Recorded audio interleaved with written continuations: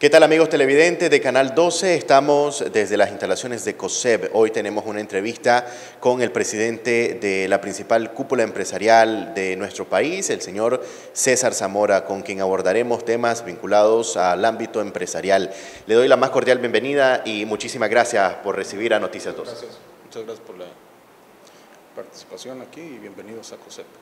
Don César, quisiera comenzar esta entrevista consultándole qué ha pasado con COSEP. Eh, ¿Continúan trabajando eh, esta importante cúpula empresarial? No, seguimos trabajando este, gracias al apoyo de todas las cámaras que pertenecen al COSEP y estamos este, en ese sentido eh, reestructurando las finanzas de COSEP y, y trabajando y dándole, buscando una nueva línea de trabajo como organización.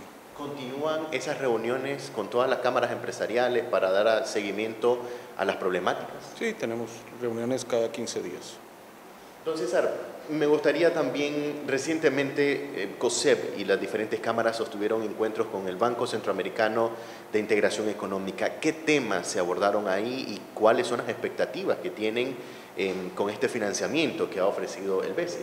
Eh, el, el BESE se reunió con cada una de las cámaras de, de COSEP, ¿verdad? lo que estamos priorizando en, en COSEP es que darle mayor capacidad de diálogo a cada una de las cámaras para que bilateralmente hablen con eh, las autoridades y con las instituciones financieras internacionales. En ese sentido, eh, estamos dando un paso eh, más de darle, empoderar a cada una de las cámaras para que seamos más ágiles como institución. Entonces, ¿esto no podría suponer que COSEP ya está perdiendo la razón de ser? ¿Podría desaparecer? No, no, no, no. Más que nunca COSEP tiene un rol importante en el país y, yo creo que nos debemos a, fortalecer la estructura eh, organizativa de COSEP en primer lugar y luego eh, empezar a manejar los temas transversales de la economía nacional, que es lo que siempre ha hecho COSEP y es en lo que tenemos que fortalecernos. ¿Qué es lo que le han comentado las cámaras? ¿Qué expectativas con estas reuniones de BESI? Eh, pues están sumamente contentas con el, diálogo con, con, el BESI y están viendo oportunidades de, de, inversión cada, cada uno de los sectores que el BESI y, y el país prioriza. Entonces, ahora hablemos ahora de energía. ¿Cómo está el sector energético? ¿Cómo están las inversiones y los proyectos en este sentido? Bueno, eh, la, primera característica del sector nicaragüense de electricidad es que, eh, y posiblemente el mayor triunfo social eh, que se tiene es que la cobertura eléctrica del país, ¿verdad? ya estamos arriba de, casi nueve de cada diez nicaragüenses tienen acceso a la electricidad y eso es un logro enorme e implica enormes responsabilidades para todos los agentes del sector energético del país de darle viabilidad en el mediano y largo plazo al país. Entonces, eh, creo yo que eh, a partir de, esta nueva estructura de, cobertura, eh, tenemos que trabajar para hacer viable al sector. yo creo que hay muchos retos de cara al futuro, ¿verdad? Es cierto que se ha hecho una inversión importante en el sector de energías renovables en el país. Aproximadamente a lo que llevamos el año, el 65% de la energía que se ha entregado al sistema es energía renovable y eso ha ayudado a que el golpe del combustible eh, no afecte la tarifa eléctrica del país. Entonces, en ese sentido, eh, pues eh, se vienen muchos retos de cara al futuro, ¿verdad? Lo que hemos visto es que las proyecciones de, los precios de combustible eh, para los próximos 10 años nos hablan de, precios de hasta pueden llegar a los 200 dólares el barril y en un año bajar a 20 dólares el barril. Entonces es eh, las proyecciones son eh, sumamente bipolares en ese sentido, de tener precios muy altos de, combustible y precios muy bajos de combustible. Entonces, en ese sentido, lo que tenemos que es planificar el mediano y largo plazo es importante para el país. Eh, las inversiones se han parado un poco en, la medida de que el proyecto de gas de New Fortress está por eh, eh, entrar en el país. En la medida que entre, ahí se irán acomodando las cargas. Se habla de que posiblemente en abril del próximo año este proyecto entrará al país y será una, eh, una adición importante para el sector energético del país, ¿verdad? Porque eh, ya ir eh, generando con gas le, garantiza al país una energía relativamente más competitiva, ¿verdad? Entonces, este, ¿y cómo hacemos para seguir atrayendo inversión al país y tener la capacidad de generación que requiere la totalidad de la población actualmente? Entonces, César, ¿qué papel va a jugar el sector privado en este proyecto New Fortress, por ejemplo?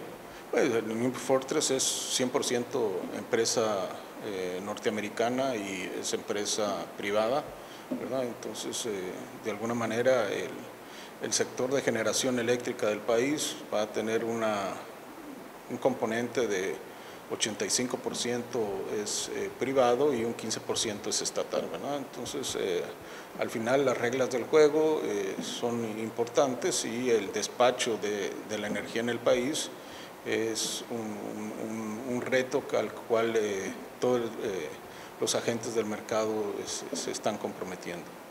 Entonces, las cámaras empresariales como CADIN, por ejemplo, Comercio, se quejaban em, de altos costos en energía. ¿Qué ha pasado con esta problemática? ¿Persiste? ¿Continúan teniendo esta dificultad? Bueno, lo, que hemos visto eh, eh, en el país es que hace aproximadamente año y medio se redujo la tarifa en un 10%, ¿verdad? Y eso... Eh, está reflejado en, la tarifa, que es de manera transparente. Yo creo que hay, que hacer muchos esfuerzos en, hacer que las empresas usen, hay una ley de eficiencia energética para reducir sus costos, las empresas tienen que invertir en reducir sus costos, ¿verdad?, a lo interno y no depender tanto de la, de la tarifa, ¿verdad? Hay programas, eh, y eso es lo que estábamos hablando un poco con el BESIE, de financiar proyectos de eficiencia energética en las grandes empresas para que eh, se haga uso eficiente de la energía cuando la consumimos. Entonces es ya más un reto de cada una de las empresas de cara al futuro, tienen que invertir, pero la rentabilidad de la eficiencia energética eh, hoy da este, rentabilidades del 20-25%, lo vemos en, los hogares donde eh, se ponen paneles solares y baterías, el retorno de esa inversión es, anda alrededor del el 15%, que mejor más, más, o sea, las empresas tienen hoy capacidad de invertir y reducir sus costos de energía. Y lo que queremos es trabajar con el BESIE para que busquemos un mecanismo eh, que haga que las empresas consigan dinero para esa inversión y que con los ahorros se pague esa inversión y estamos claros de que se pueden ahorrar alrededor de entre el 15 y el 20% del consumo de su, eh, de su energía eléctrica. Si se hace una auditoría previa y si se eh, buscan los mecanismos a través de este, eh, programación y de trabajo con los equipos de mantenimiento para reducir los costos. Pero yo creo que hacia allá tenemos que movernos, ¿verdad?, de cara al futuro. Entonces, ya para ir cerrando, ¿cómo ve COSEP la economía de nuestro país? ¿Cómo está la situación? ¿Cómo em, vislumbran ustedes que vamos a culminar este año? Bueno, eh, tenemos enormes, enormes retos en el, país. Este, sí, se, se, está creciendo, hay sectores ganadores, ¿verdad? todo lo que es el sector de de, exportación ha tenido eh, incrementos eh, sustanciales en sus rendimientos y en el mercado interno es lo que tenemos los grandes retos de, para el futuro y yo creo que mucho de esto pasa por este, eh, hablar con franqueza sobre los temas económicos del país, ¿verdad? En el COSEP nuestra prioridad es manejar los temas económicos de nuestras cámaras con con, sinceridad y con transparencia, ¿verdad? Ese es el, el, reto que tenemos para este año. Este, la, el golpe de, externo por los altos costos de los combustibles, por eh, la falta de, de, y carencias de, de, poder transportar los bienes y servicios a través de, la economía mundial eh, es un reto para el país, pero una enorme oportunidad. Eh, los Estados Unidos, Canadá van a requerir que sus eh, materias primas para sus industrias vengan de lugares más cercanos y Centroamérica y especialmente Nicaragua va a tener eh, muchas posibilidades eh, de poder accesar a esos enormes mercados y no traer la materia prima desde China o desde la India, ¿verdad? Entonces eh, tenemos esa ventaja y tenemos la enorme responsabilidad de, actuar con honestidad, transparencia y a través de diálogos francos con las autoridades para vislumbrar un futuro para, para todos, ¿verdad? tenemos también... Nos preocupa mucho en el sector privado la, la, salida de, nicaragüenses hacia, hacia afuera del país, porque por lo general se van la gente más valiosa y, entonces eso es un enorme reto para, para, para, para, la economía y para la mano de obra del país, ¿verdad? Entonces son temas que tenemos que abordar eh, y que queremos actuar con responsabilidad sin politizar los temas, sino que buscándole una salida eh,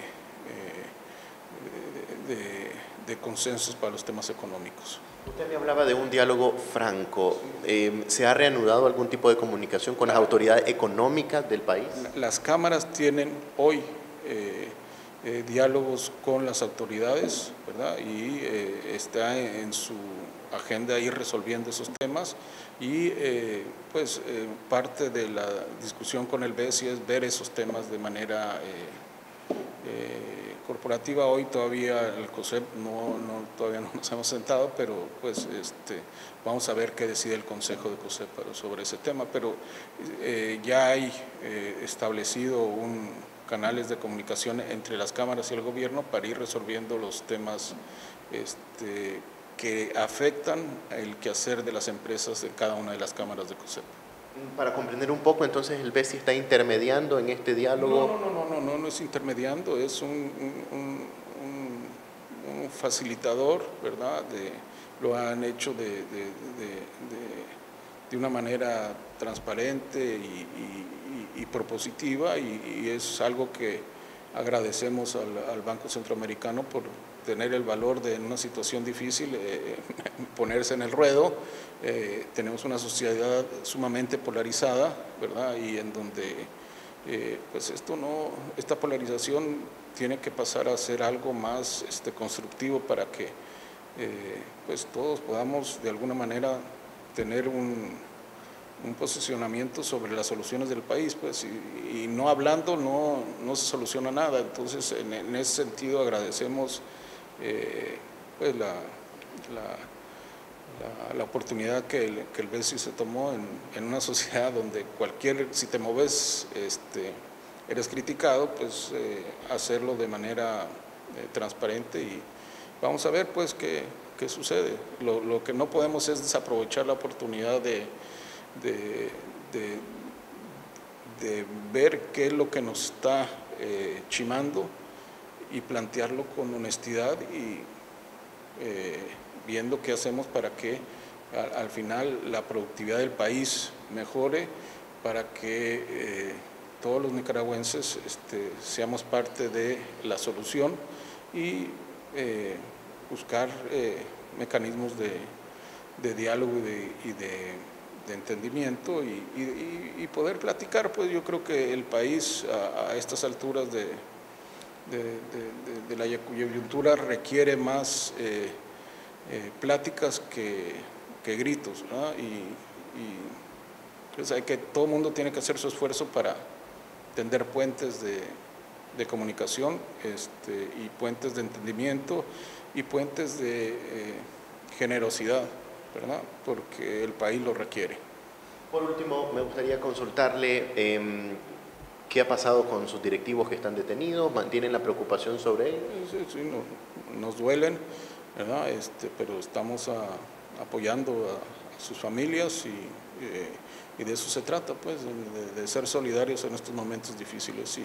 Y, y, realmente quiero, pues, eh, agradecer el, el, apoyo de cada una de las cámaras de COSEP, que es lo que han sacado adelante el COSEP en una situación sumamente complicada financieramente y, políticamente y, COSEP espera estar a la altura de, de, las circunstancias. ¿verdad? Eh, eh, tenemos este, eh, grandes ejemplos y, y, pues mantenemos esa línea, no, hemos, no nos hemos salido del país, estamos en Nicaragua, tenemos nuestras reuniones una vez virtual al mes y otra vez presencial y, y, vamos a seguir dando la cara por el sector privado, ¿verdad? Este, eh, aquí estamos este, recogiendo este, eh, cosechas, este, esperando que este mes de junio de lluvias y eso nos, nos permita eh, reflexionar sobre el camino que nos queda por delante y ese pasa por extendernos la mano los nicaragüenses y entendamos que no podemos vivir permanentemente en confrontación, sino que eh, para el tema económico requerimos de, eh, de, honestidad y de, eh, de, sabernos perdonar y de saber este, enfrentar el futuro con, con conocimiento de causa. En el sector energético o sea, nos decían que eh, pues eh, por el calentamiento eh, global y que necesitamos estar muy precavidos con lo que puede venir de, con el tiempo y hay que estar protegiendo a cada una de estas plantas que tenemos en el país y en dado caso que haya poca lluvia, pues que haya viento, para cubrir la, falta de, agua y si no hay viento, pues que haya suficiente agua para cubrir el, sector energético del país. Hay, eh, está el tema de, las plantas solares que también y las baterías, hay enormes retos este, y eh, planteamientos desde el sector privado en, ese sentido de, invertir para que eh, todos los nicaragüenses que hoy tienen el servicio del fluido eléctrico eh, lo tengan eh, de manera segura y hacer el enorme esfuerzo por reducir el precio de esa energía. ¿verdad? Esa es el gran, el, gran, la gran tarea para los próximos tres o cuatro años, ¿verdad? Este, en una situación compleja. Pero al final de lo que se trata es de de que nos vayamos poniendo de acuerdo en, los temas que son importantes para el país y este, eh, poder eh, sentirnos eh, un poquito más aliviados por, los dolores que todos los este, que tenemos en, el país. Pero hay que ser proactivos y, trabajar. Eso de que si nos dejan trabajar, nosotros vamos a hacer nuestro trabajo eh, y nuestro compromiso de seguir invirtiendo en el país. Entonces, César, le agradezco por su tiempo y la oportunidad de apertura con Noticias 12. Muchísimas gracias. Muchas felicidades. Es la primera entrevista que doy desde que asumí y lo hago con, realmente con eh, mucha, mucho respeto por el, por el periodismo nicaragüense y por lo que implica este, pues, el trabajo que ustedes hacen por el país. Les agradezco. Muchísimas gracias, don César, muy amable. Gracias a ustedes, amigos televidentes, por estar en sintonía de Noticias 12. Hacemos un breve corte y volvemos. Muchas gracias.